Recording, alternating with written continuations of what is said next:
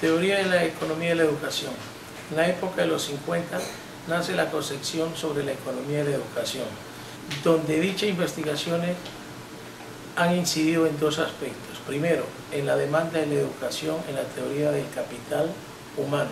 Segundo, en las relaciones entre formación y crecimiento económico. A lo largo de estos años, cuatro teorías han sido del análisis consagrados a la economía de la educación.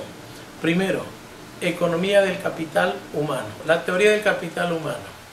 El concepto de capital humano fue planteado por Theodore Sucher en 1960 y Gary Becker en 1964, quienes sostienen que una condición para el desarrollo económico de una organización empresarial, pública o privada, radica en la educación que tienen sus empleados. Esta teoría considera la educación como una forma de inversión. Las personas con mayor niveles de educación y capacitación tienen mayores ingresos retribuidos. Entonces la educación se considera una inversión y no consumo y que es una fuente de beneficio y crecimiento para las personas. Esta teoría se basa en la inversión económica que se debe hacer para, que, para mejorar la calidad profesional de las personas, cuya ecuación es la siguiente. La primera función que es GNI es una función que depende de F. Sus coordenadas vectoriales son QNI e I. La segunda función nos dice que C es una función que depende de la sumatoria que va desde n es igual a 1 hasta n que es infinito. Y las coordenadas vectoriales son kj 1 más ri, donde la primera y la segunda se completan. Segundo, la teoría del filtro.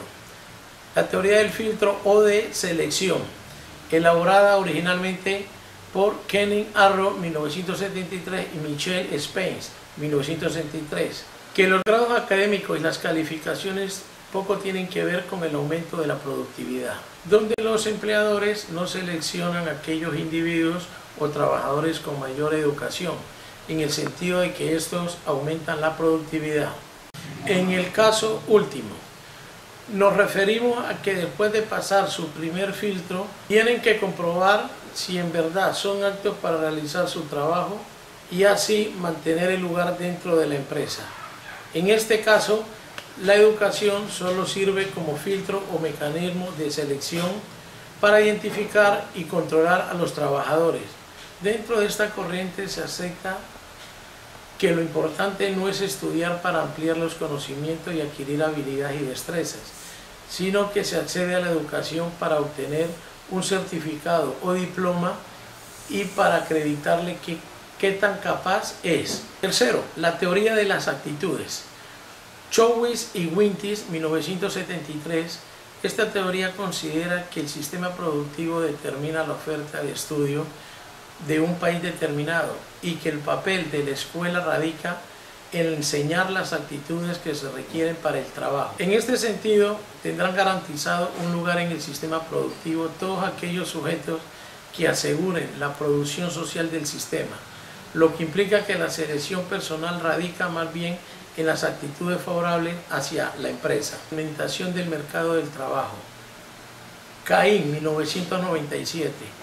Estas teorías proponen que en el nivel de formación no es la única característica que los empleadores consideran en la selección personal. De tal forma, la segmentación del mercado consiste en considerar que la población económicamente activa está dividida por segmentos en síntesis, estas teorías proponen que, primero, no existe un único mercado de trabajo, sino varios, relativamente relacionados entre sí.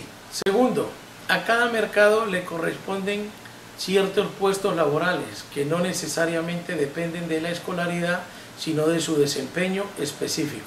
Como quinto, el modelo de elegibilidad.